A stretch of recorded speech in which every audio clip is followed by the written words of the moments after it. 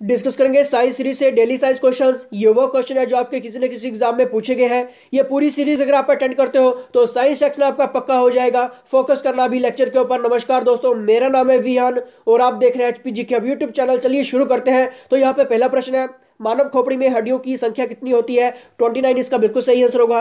Twenty nine हड्डियाँ मानव खोपड़ी में रहती है। और दोस्तों, जिसको अभी तक क्लियर नहीं है, हमने यहाँ पे कुछ क्रैश कोर्स भी चलाए हुए हैं। आप देख सकते हैं कौन कौन से क्रैश कोर्स यहाँ पे चले हुए हैं। और दोस्तों, हमने एचपी पुलिस कॉन्स्टेबल का भी कोर्स यहाँ पे चला दिया है। क्या फ़ायदा, हो सकता है आपको क्रैश कोर्स लेने से। दोस्तों, हम आपको प्रोवाइड करेंगे MCQ question top repeated question आपको दिए जाएँगे।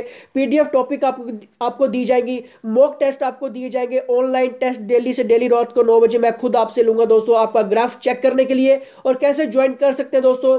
आपको सिर्फ़ पेमेंट करनी है तीन सौ रुपए की। छह महीने की इकट्ठी पेमेंट है।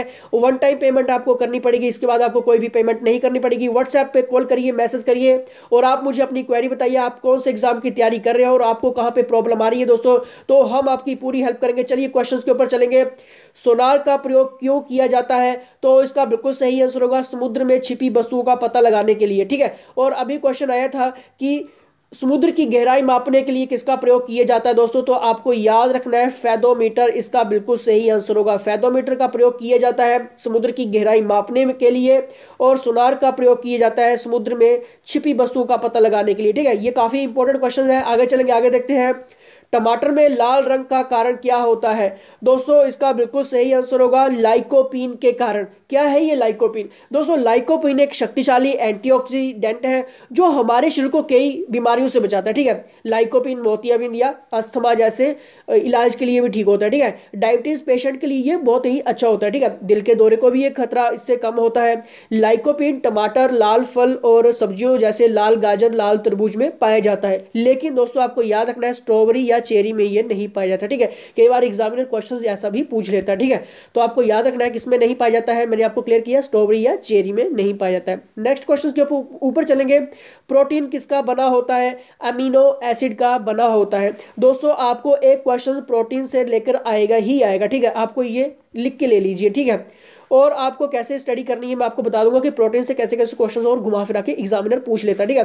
तो आपको क्लियर होना चाहिए यहाँ पे कि प्रोटीन होता क्या है? प्रोटीन दोस्तों स्मॉल कंपाउंड्स है, जिसे हम एमिनो एसिड कहते हैं, ठीक है? और एमिनो एसिड को थ्री ग्रुप्स में बांटा गया है, ठीक है? डिवाइड किया गया है यहाँ पे। लेकिन आपको इतना क्लियर नहीं रखना है कि कौन कौन से ग्रुप है। लेकिन आपको फिर भी मैं आपको बता देता हूँ कि अगर एग्जामिनर घुमा फिरा के क्वेश्चन पूछे तो आपके पास एक गैस वर्क भी हो। एशेंटिल एमिनो की बात करेंगे दोस्तों तो इन्हें भोजन के साथ लिया जाता है, ठीक है? ओके और दूसरे की बात करूँगा नॉन एशेंटिल एमिनो एसिड तो इसको हमारा शरीर खुद पैदा करता है, ठीक है? ये भी क्लियर हो गया। कंडीशनल एमिनो एसिड की बात करूँगा तो दोस्तों ये बीमारी और डिप्रेशन में काम आता है, ठीक है? तो आपको इतना डीप नहीं आएगा, लेकिन आपको थोड़ा सा क्लियर होना चाहिए, ठीक है? मैं आपको बता दूँगा कि और कौन कौन से इंपॉर्टेंट है। आगे चलेंगे। हार्मोन्स का मुख्य कार्य होता है तो इसका बिल्कुल सही आंसर होगा दोस्तों, रासायनिक कार्यों को नियंत्रित करना, यानी कि कंट्रोलिंग केमिकल वर्क्स ठीक है? आगे चलेंगे, आगे देखते हैं किस टाइप के क्वेश्चन यहाँ पे इंक्लूड किए गए हमारी टीम के द्वारा। ऊर्जा पाने के लिए खिलाड़ी किसका प्रयोग करते हैं? दोस्तों, ये क्वेश्चन काफ़ी बार इंपॉर्टेंट पूछा गया है एग्जामिनर में घुमा फिरा के क्वेश्चन पूछता है। तो कई जो स्टूडेंट्स है दोस्तों, वो प्रोटीन करके आ जाते हैं, ठीक है? कि प्रोटीन सबसे अच्छा रहता है, लेकिन नहीं दोस्तों कार्बोहाइड्रेट्स इसका बिल्कुल सही आंसर होगा, ठीक है? और कार्बोहाइड्रेट्स की बात करूँ तो दोस्तों, यहाँ से क्वेश्चन आपको बनेगा ही बनेगा, जैसे मैंने प्रोटीन की बात की कार्बोहाइड्रेट से बात की, ठीक है? घुमा फिरा के क्वेश्चन बनते हैं। हम आपके जो ये सीरीज़ है साइंस सीरीज़ में हम कंप्लीट कर लेंगे, ठीक है?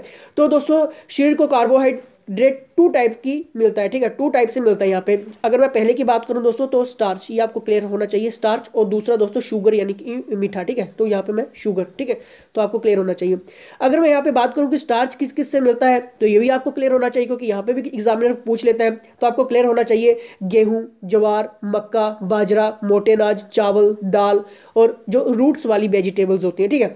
कार्बोहाइड्रेट्स को स्टार्च कहते हैं, ठीक है? इससे हमें स्टार्च मिलता है, ठीक है? अगर मैं यहाँ पे बात करूँ शुगर की ठीक है, मीठे की बात करूँ तो जैसे केला, अमरूद, गन्ना, चुकंदर, खजूर, शहद, ठीक है, जितने भी एक मीठे खाने वाले से प्राप्त होता है, इन्हें हम क्या कहते हैं, शुगर कार्बोहाइड्रेट से ये मिलता है, ठीक है? और लेकिन दोस्तों, हमें इतना भी इनका प्रयोग नहीं करना चाहिए, जो ये मीठा रहता है तो इससे हमें डायबिटीज़ होने का खतरा रहता है फैट का खतरा रहता है और हार्ट ब्लॉकेज ठीक है? ये इसके मेन काउज होते हैं, ठीक है? आगे चलेंगे, आगे देखते हैं किस टाइप के क्वेश्चन है। और दोस्तों, जिसको अभी तक ये चीज़ क्लियर नहीं है, जो पहली बार विज़िट कर रहे हैं, उन्हें बता दूँ, आपके एग्ज़ाम से रिलेटेड हमने हर सब्जेक्ट्स की एमसीक्यू क्वेश्चन सीरीज़ चलाई हुई है, जिसमें आपकी हिस्ट्री, ज्योग्राफी, पॉलिटी, एचपीजी के साइंस, ये सभी के सभी सब्जेक्ट्स इंक्लूड है। तो एक भी आपका लेक्चर मिस ना हो जाए तो आपको प्रॉब्लम हो सकती है एग्ज़ाम हॉल में बैठ के। कौन सा दर्पण प्रकाश का सबसे अच्छा परावर्तक है? रिफ्लेक्टर ऑफ़ लाइट की यहाँ पे बात की गई है। प्लेन मिरर इसका बिल्कुल सही आंसर होगा। ठीक है, आगे चलेंगे। डबल रोटी बनाने में किसका प्रयोग किया जाता है? तो इसका बिल्कुल सिंपल सा आंसर है और सभी को ही क्लियर होगा ईस्ट, ठीक है? डेली साइंस क्वेश्चन है दोस्तों, ये आपको एग्ज़ाम में आएँगे ही आएँगे, ठीक है? आगे चलेंगे, चूना पत्थर का रासायनिक नाम क्या है? कैल्शियम सल्फेट इसका बिल्कुल सही आंसर होगा। अगर दोस्तों यहाँ पे मैं फॉर्मूले की बात करूँ तो आपको फॉर्मूला भी क्लियर होना चाहिए, ठीक है? S A S O four इसका बिल्कुल सही आंसर होगा। दोस्तों लेक्चर को लाइक कर दीजिए सब्सक्राइब कर दीजिए शेयर कर दीजिए, ताकि ज़्यादा से ज़्यादा स्टूडेंट्स को इसका फ़ायदा हो सके। और दोस्तों फीडबैक ज़रूर दीजिए, और इसी के साथ धन्यवाद।